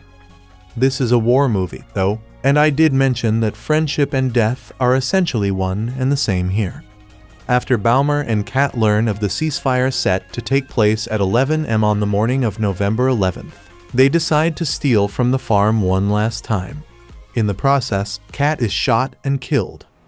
Kat's general, in the hopes of a German declaration of victory, orders an attack at 10.45 am, which occurs in the same trenches from the beginning of the film. In said trenches, Baumer is stabbed from behind by a bayonet through the heart just seconds before the official ceasefire takes place. In the final scene, a young soldier takes his scarf, which was originally his friend's, and dog tag from his body. Throughout, we are led to believe that Baumer will emerge from the Great War in a triumphant display of resilience as the only surviving member of the original enlisting group. But in the end, we are struck with the reality of war that he was doomed to repeat the fate of the soldier who had first worn his uniform other information about this film. It's a reality of modern war films, or, at least, the good ones that they tend to be horrifying and exciting at the same time. You could say that's a contradiction that grows out of the kinetic, larger-than-life nature of the movie medium. Or you could say it's a truth that expresses something fundamental about war, that the very reason war persists, for all its terror and destruction and death, is that there's something in human nature that is drawn to war. The movies, in their way, act this out for us. Once again, though, and speaking of the good ones, there is no more powerful an example than Saving Private Ryan. I have never seen a war film more thrilling, and I have never seen a war film that made me confront, more memorably, the unspeakable blood spurting fear and devastation of war. By contrast, the new German version of All Quiet on the Western Front feels like an experience that's been stripped to the bone morally, spiritually, and dramatically based on the 1928 novel by Erich Maria Remarque. It's not a movie that tries to turn the infamous meat grinder horror of the trench warfare of World War I into some sort of spectacle, the way that Sam Mendes' video game Apocalypse 1917 did. The film's hero, Paul Bäumer Felix Kammerer, is a student who, three years into the war, enlists in the Imperial German Army to fight for the fatherland.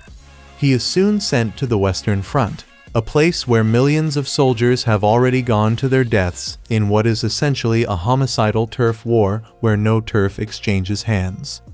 Over the course of the war, the land capture on the Western Front was meager.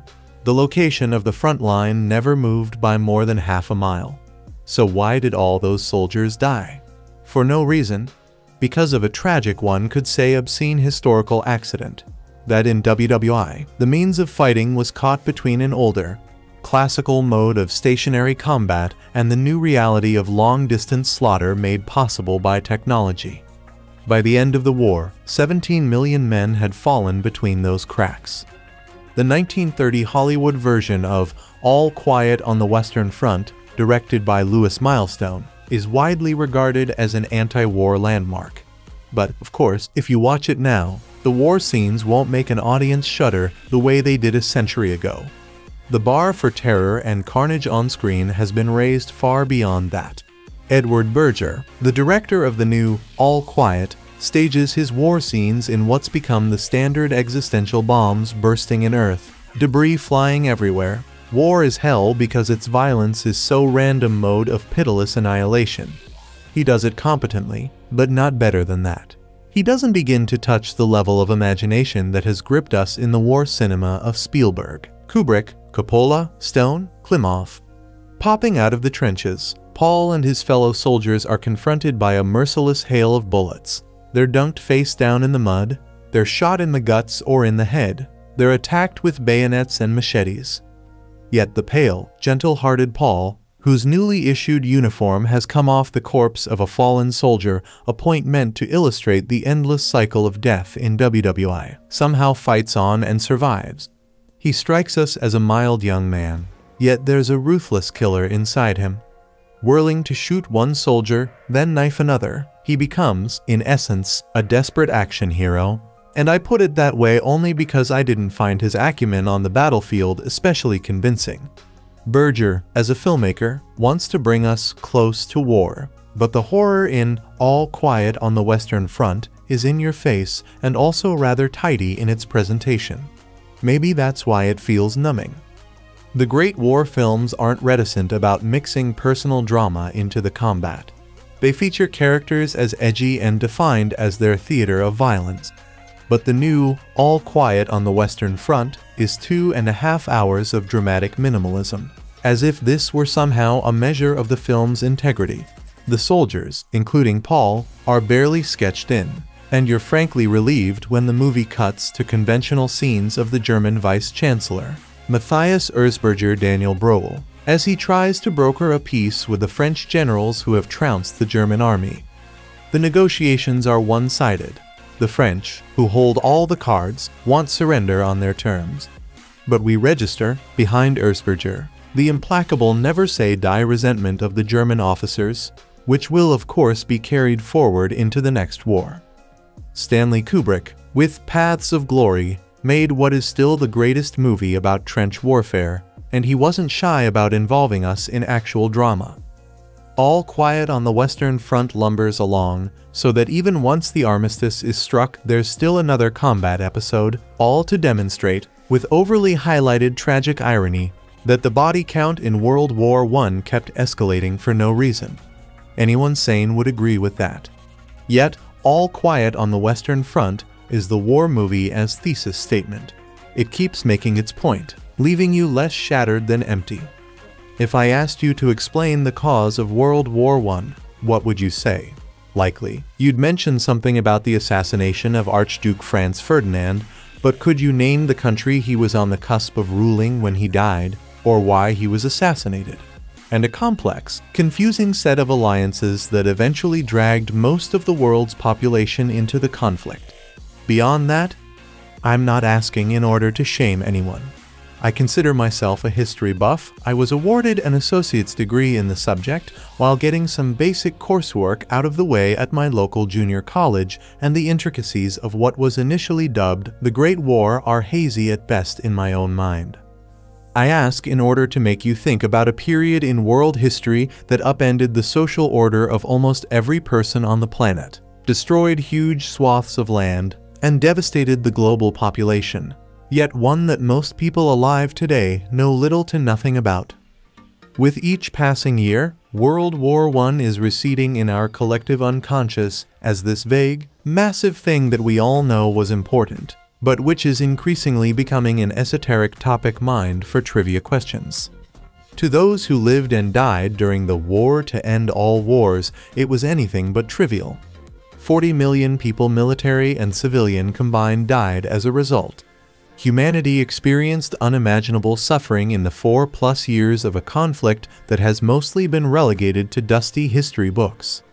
Swiss director Edward Berger has determined to make that suffering very imaginable and horrifically unforgettable with his adaptation of Erich Maria Remarque's seminal 1929 anti-war novel All Quiet on the Western Front.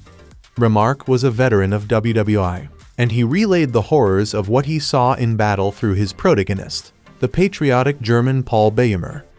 Three years into the conflict, Paul enlists with most of his high school classmates in order to defend the glory of his homeland.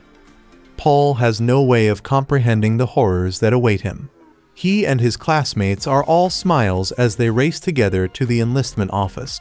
The bleak reality closes in on young Paul within hours of his arriving at the Western Front in northern France the starkest difference between Berger's adaptation and what I remember about Remarque's novel admittedly, it's been over a quarter century since I read Akatuf for a high school history class, but it left an indelible mark on me is how we relate to Paul. The book is written in first-person narrative, with Paul speaking directly to the reader about what he sees, hears, and feels during his ordeals, I remember being particularly impressed with Remarque's short and to the point style for Paul's declarative inner monologue.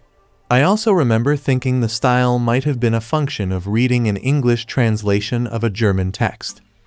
Berger, who adapted the novel with the help of screenwriters Ian Stokell and Lesley Paterson stripped out all of that inner monologue for his picture. His version of Paul is a tabula rasa, in the novel, we are one with Paul because we have access to his innermost thoughts. In this film version, we come to know the character so well because we experience each second of terror as we stare into his face. It's constant trial by fire, and Berger forces us into the trenches and beyond as Paul fights to stay alive and sane in these insane circumstances. Also new to this adaptation again, if I remember correctly, the book is tied singularly to Paul's POV are scenes of German High Command's feckless callousness for their own soldiers when strategizing. Meanwhile, one German official, Matthias Erzberger, who is based on the real-life German writer and politician, is existentially unmoored by the incredible loss of life and is working to secure an armistice with the Allied powers to stop the senseless bloodshed aside from those brief respites, which serve to show how disconnected those in charge were from what was happening on the ground at one point, before a preliminary negotiation on terms to end the war. One French military official takes time to worry that the croissants prepared for the meeting aren't fresh. We are literally in the trenches, experiencing the raw terror and desperation. Not glory and honor, that is war. If Sam Mendes' 2019 World War I film 1917 depicts war as a non-stop action thrill ride the main criticism against that film is that its one continuous take conceit comes off as gimmicky and detracts from the true horrors of war. It's a valid critique, but the movie ultimately worked for me then Aakatuf is war as it truly is, terrifying and senseless suffering. Berger contrasts the man-made carnage and brutality of war with fleeting moments of the pristine beauty of nature. In the film's opening seconds, we see a sweeping shot of a lush, green forest before cutting to a family of foxes quietly sleeping and the pups suckling from their mother. It's a reminder that, while nature can be unforgiving and inhospitable, the level of destruction and suffering wrought by war is only possible through the ingenuity of the human animal. Man is a beast, one character says during Aakatuf. The atrocities we see during the film make that assessment hard to deny. From one hapless soldier who we see completely obliterated under the tread of an oncoming tank to the enemy Paul kills in hand-to-hand -hand combat during an attack, Berger makes war nothing short of hell on earth.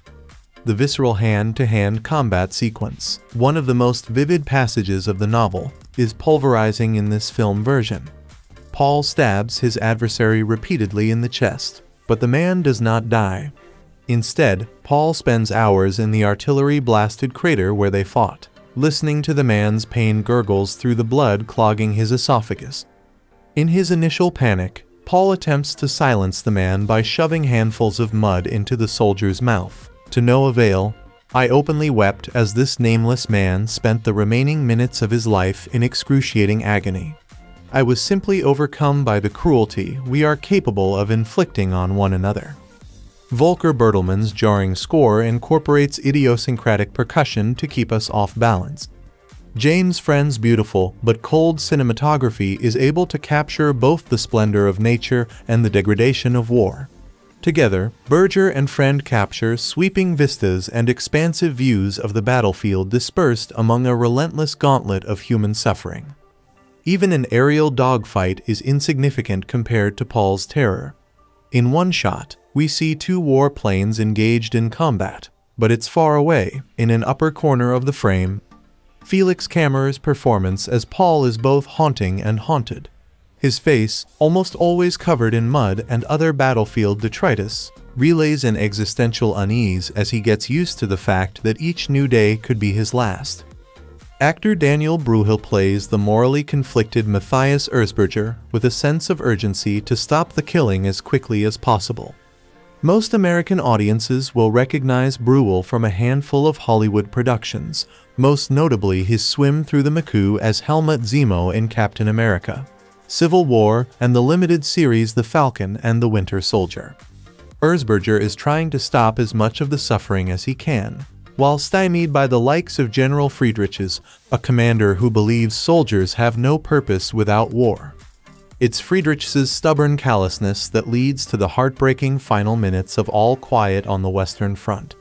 With minutes to go before the armistice takes effect, Friedrichs orders his soldiers into battle one last time, in an attempt to end the war with a German victory. In his efforts to survive this last campaign, Paul becomes the beast that his fellow soldier mentioned earlier. It's not his fault. War strips human beings of their very humanity. All Quiet on the Western Front is a devastating illustration of that fact. Positive elements. All Quiet on the Western Front is as scathing an indictment of war as you'll ever see. And perhaps that observation in and of itself is a backhanded positive. To be reminded of war's horrors is also a reminder not to jump lightly into conflict. But in the midst of war, people all men, given the movie's 1917 to 18 timeframe bond together in ways that, perhaps, would be impossible in peacetime. When soldiers suffer through so much together when they're asked to save one another's lives potentially with every sunrise they become, very much, like brothers. We see that here, Paul is lucky enough to spend much of his time in the war still with his best friends from school. But he also makes a new friend, too perhaps his best friend. Stanislaus Katczinsky Kat, for short has been on the front a little while longer than Paul and his schoolmates. He makes a special effort to help Paul, especially, acclimate to the front. Over time, the two become almost inseparable, and they do their own part to help each other and their mates survive each day as it comes. It's only much later in the movie that we learn how different Paul and Kat are from each other so different that in peacetime, they'd likely never speak.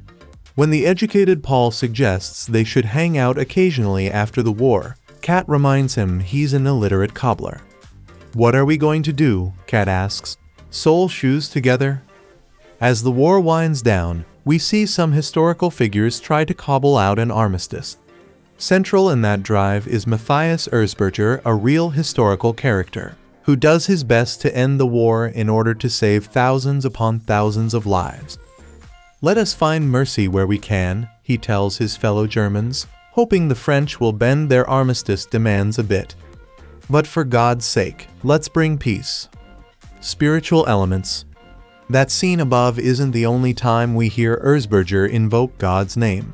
In real life, the political figure was a prominent member of Germany's Catholic Center Party, and the movie perhaps hints that Erzberger's Catholic faith helps drive some of his ambitions to stop the war. Other than that, though, faith suffers alongside the men. Paul and his friends go to a Christian school, or at least so it would seem from a cross hanging on the window, which the audience stares at as the teacher thunders his martial pep talk. The next time we see a cross on a wall is at a church serving as a makeshift hospital, filled with patients and limbs and blood and screams. We hear snippets of scripture from the war weary and, for the moment, celebrating soldiers, asking for God's mercy and referencing the Lamb of God. It's hard to tell whether these drunken, celebrating soldiers are being particularly devout. One rushes up to Paul and shouts, Knock on the monastery door and you'll find only thieves and scoundrels. We hear crude jokes and remarks that make allusions to both Jesus and the thighs of his mother, Mary. A German general tells his soldiers that God is on their side. Sexual content. During a lull, one of Paul's friends, Albert Kropp, leaves with a trio of three girls. He returns late in the evening, carrying a handkerchief from one of the young maidens as a souvenir. He describes the quality of the woman's skin to Paul and mentions her breasts, and Kropp's friends pass around the handkerchief to smell and jokingly pocket. Another friend of Paul's, Ludwig, watches Kropp leave with the ladies, and he's clearly wishing he was brave enough to join. Kropp goes temporarily AWOL for the encounter. He talks longingly of physical intimacy, telling his friends that if there was no war, he'd be quite active in that department. I wouldn't put on trousers for eight days, he says. Later, Ludwig runs into a poster that depicts a young clothed woman. He tears the portion of the poster that features the woman and takes it with him. The poster fragment seems to become almost like a real woman to Ludwig, and when Paul eyes the two of them perhaps wondering about his friend's sanity, Ludwig asks Paul if he's jealous. We see men shirtless. There's a reference to combing pubic hair. Kat describes how beautiful his wife is to Paul, and a letter from her may have a bit of a double entendre in it.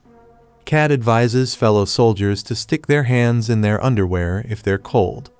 An officer compares a dirty gun to a dirty girl. Violent content.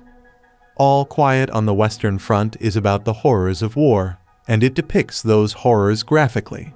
I won't detail every moment of violence here. Rather, let's deal with the subject more broadly, while perhaps touching on a couple of the movie's most difficult moments. People countless people are shot and killed. More are sliced or stabbed via axe, bayonet, and dagger. The movie wants to make the carnage we see personal. The hand-to-hand -hand battles here don't feel so much like war as flat-out murder.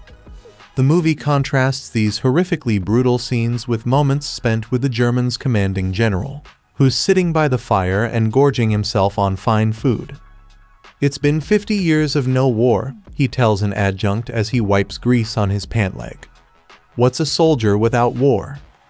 World War I introduced a legion of new ways to kill, though, and we see those in action. Soldiers get run over by tanks, and we see their bodies reduced to meat and squirting blood. Others are immolated by flamethrowers. Scores of bodies are found in a building victims, we're told, of a gas attack. Grenades are thrown and find their marks. Artillery rounds explode, sending people flying, both alive and dead. Buildings collapse on still living soldiers. Some make it out, some do not. Corpses mainly of men, but also of horses lie everywhere. One of Paul's first duties is to take part of the German version of dog tags to identify the dead. He finds a friend of his, his face mauled by an explosion, a leg missing at the knee. Soldiers walk through pools of blood. Half of a human carcass hangs from a tree 30 or 40 feet in the air. It was blown there, we're told, by an artillery blast. But that's not enough carnage, apparently, to drive the point home. In one excruciating scene, we see a French and German soldier fight in the crater left by an artillery shell. The German finally stabs the Frenchman several times, but the man won't die. Instead, he chokes and gurgles on his blood until the German stuffs dirt into the man's mouth. It's still not enough. For minutes, perhaps hours, this small struggle for life goes on, the German holding his ears as the Frenchman gurgles until the German decides to save the man instead. He looks at the bloody wounds, wipes the dirt from his face and around his mouth. Only then does the Frenchman breathe his last. The German finds his wallet and a picture of the man's wife and daughter. In another scene, a wounded man who bears some terrible injuries to his leg receives food and a fork. He promptly stabs himself several times in the neck with a utensil bleeding out as his friends try to save him, and another soldier, cold-eyed, looks on as if to say that such atrocities are as common as mosquitoes. Back at the armistice discussions, Erzberger and others talk about the casualty rates of the war. About 40,000 soldiers died in the preceding weeks before discussions began. When one German looks at the armistice and is aghast at the proposed conditions that Germany wouldn't be worse off if they just followed the war to its conclusion Erzberger adds, except with a few hundred thousand extra deaths. Crude or profane language. Most of the movie is in German, and there's some discrepancy between what we hear in the English dubbing and what we read in the subtitles. With that context in mind, we're exposed to two F words and about tens words, also uttered A, Betard, DN, H, and the British profanity bloody. God's name is misused five times, once with the word DN. Drug and alcohol content. Officers and government officials drink wine. During one scene of revelry, soldiers seem to be pretty drunk. Other negative elements. Kat, Paul, and other soldiers spend quite a bit of time talking while using the latrine, we see their bare legs, but nothing else. Several people urinate, and one accidentally urinates on his shoe when his train stops unexpectedly. Paul and Kat raid a farm a couple of times, once successfully making off with a dead goose. When you're starving, you'll do anything, Kat says. They're hailed as heroes when they return with their booty. A general makes a tragic, monstrous decision. Conclusion as the war drags to a close, Paul confesses to Kat that he's worried about returning home. War has changed him. It has changed all of them. All anybody wants to know about are the battles we've been in, he says. And both he and Kat know that what they've seen and experienced, they'll never tell anyone. It's too horrible. Too painful. All quiet on the Western Front comes. Then, with an inescapable irony, the horrors that Paul would always want to keep hidden are the same horrors the film does its best to portray. The original book, by Erich Maria Remarque, was published in 1929, and it's just as bleak, just as brutal. Some European countries, often as they prepared for war, labeled the book anti-military propaganda. Just four years after it was published, Germany's new Nazi regime declared it degenerate and made it one of the first books to be thrown in its bonfires. Certainly, both the book and the movie drive home the idea that war is waste, senseless, needless, immoral waste. Perhaps there's a place for such works. Certainly, All Quiet on the Western Front is a well-made film, achingly bleak and horrifically brutal as it is. But we know, by its end, that even if Paul survives the war, part of him will have died on that Western Front. the rest of him will be haunted by what he's seen and heard and lost. We are forlorn like children and experienced like old men, Paul says in the book All Quiet on the Western Front. We are crude and sorrowful and superficial, I believe we are lost. If Paul is lost, if he wishes he could unsee what he's seen, perhaps we, too, should be wary of seeing what he's seen, even on the safety of a screen, even on the comfort of the couch. More details. Erich Maria Remarque's undying 1928 anti-war novel All Quiet on the Western Front has the uncommon fortune for a major literary classic to have been adapted into a major cinematic classic. And this happened almost immediately. The US produced adaptation that would go on to win the Academy Award for Outstanding Production, that is, Best Picture at the 1929-30 ceremony premiered less than 16 months after the serialization of the book began in Germany. That 1930 film is, in my eyes, one of the utmost masterpieces of early sound cinema. It's also, more directly to the point one of the very best films adapted from a prose source ever made. So ordinarily, the idea of a new All Quiet would instill in me an instinctive and peremptory, well, that's a fucking stupid thing to do. And if we're talking about the 1979 made-for-TV adaptation, I'd be 100% right. This comes up because we now do in fact have a new movie version of All Quiet on the Western Front that has come fully inoculated against my snobbish dismissal for the undeniable reason that it is the first time a cinematic treatment of the story has been produced in Germany, and in the same German language that Remarque wrote the book in which includes restoring its original title, Im Westen nichts Neues. In the West, nothing new even if there was never any chance that I'd like the 2022 All Quiet as much as the 1930 All Quiet, and there was, to be clear, never any such chance one can hardly say in such circumstances that the 2022 film serves no purpose. Restoring the original language to a story that, for all its intentional and intense universality, is still very much about the specific German experience of the First World War is a purpose in and of itself. Also, the 2022 film knocks the pants of the 1979 telefilm, so that helps things as well.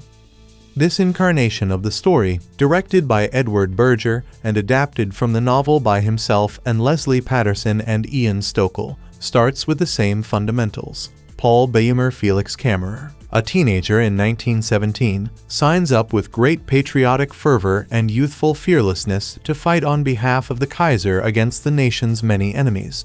By the time the war has ended in November 1918, Paul has watched nearly all of his equally fervid friends die horrifically in the muddy, diseased trenches of perhaps the most brutally gruesome battlefield in the annals of modern warfare reduced to ash and bone and rotting flesh in service to redistributing the balance of power over a few hundred yards of crater-marked wasteland.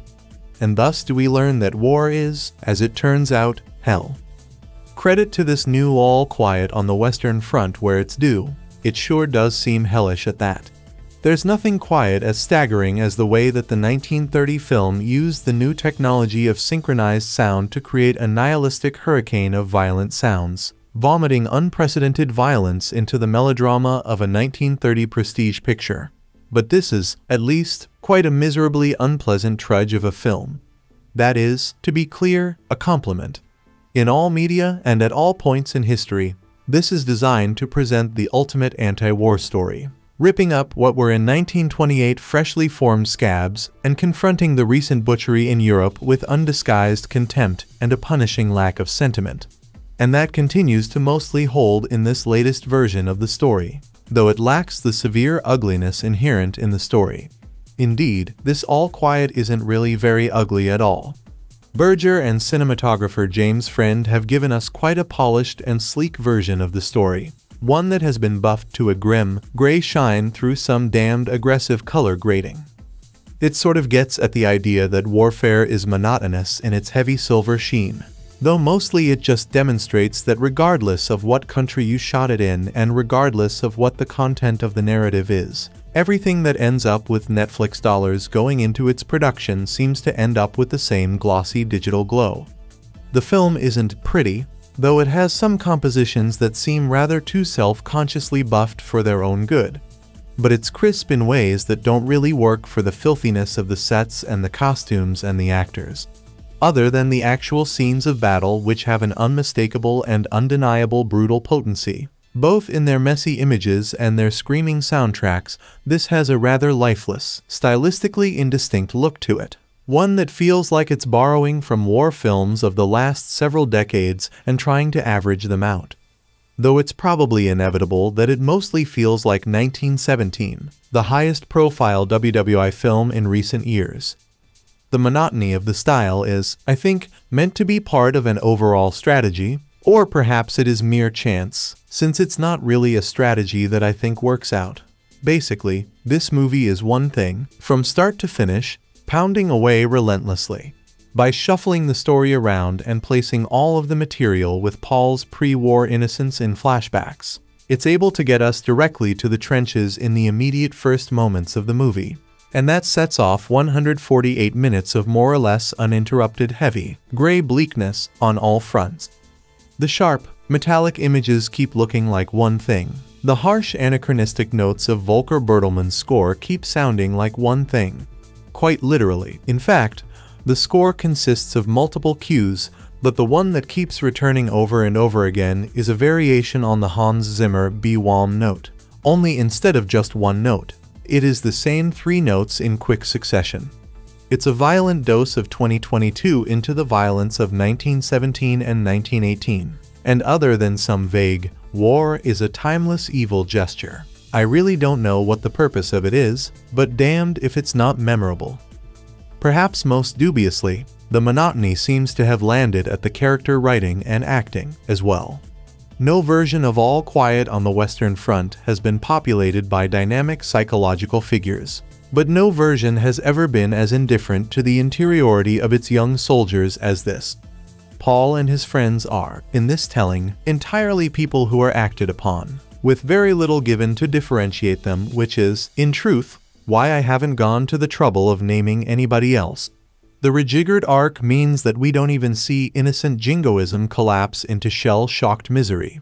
The collapse has already happened when we meet the characters, and when we flash back to watch it as it occurs, it seems that quite literally one day on the front is all it took to leave the characters robbed of their soulfulness and hope. Which probably isn't an inaccurate way to characterize the viciousness of trench warfare but it makes for somewhat tediously bleak drama. And this is especially true given that this script elects to add substantial material of the generals and other politicians attempting to bring the war to a close. And they do seem like distinct personalities pretty close to 100% the opposite of the story, an adaptation of All Quiet on the Western Front should be attempting to tell. Given the story's inherent mistrust of the higher-ups sending young men to the charnel house, the narrative is strong enough that it would take a weaker treatment than this to ruin it, and the heavy one-note bleakness is a reasonable attitude to adopt given the material. But I struggle to see what about this is special, given its stylistic debts to so many other war movies. And certainly, if you want a terrific film version of this same basic story, really, 1930 wasn't that long ago. Tim Brayton is the editor-in-chief and primary critic at Alternate Ending, he has been known to show up on Letterboxd, writing about even more movies than he does here. This film directed by Edward Berger. Screenplay by Edward Berger. Lesley Paterson. Ian Stokell. Based on All Quiet on the Western Front by Erich Maria Remarque. Produced by Malte Grunert. Daniel Dreyfus. Edward Berger. Starring Felix Kammerer, Albrecht Schuch, Daniel Brühl. Cinematography, James Friend. Edited by Sven Budelmann. Music by Volker Bertelmann. Production Company, Amusement Park. Distributed by Netflix. Release dates September 12, 2022 in TIFF. October 28, 2022 in Netflix. Running time 147 minutes.